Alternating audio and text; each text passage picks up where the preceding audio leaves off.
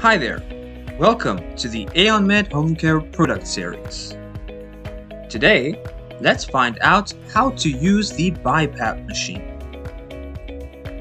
Tap the settings icon to enter the settings menu.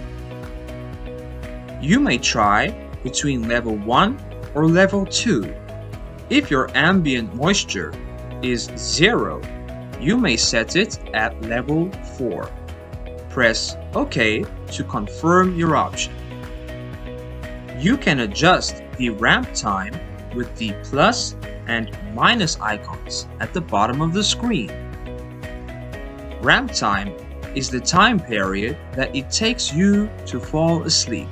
If you activate the auto on functionality and breathe three times through your nasal mask, the machine will automatically start ventilation. Auto off will automatically switch off ventilation when you are done. The backlighting option can be set between auto and on.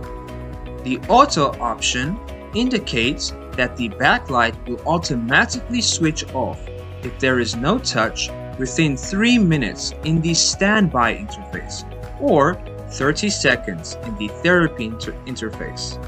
If you set it on, then there will always be a backlight while the machine runs.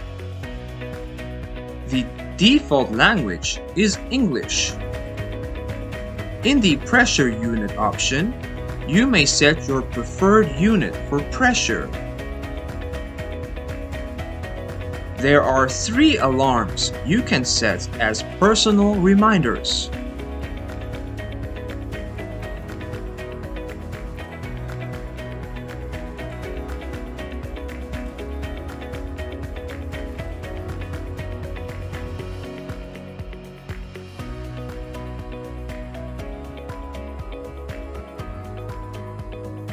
In the filter usage period options, you can record the time period of using the air filter.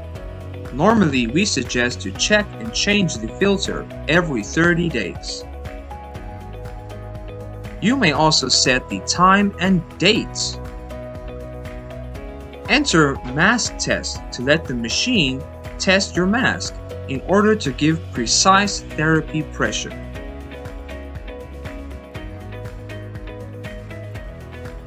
In the device information option, you can find the serial number and other software versions for your device.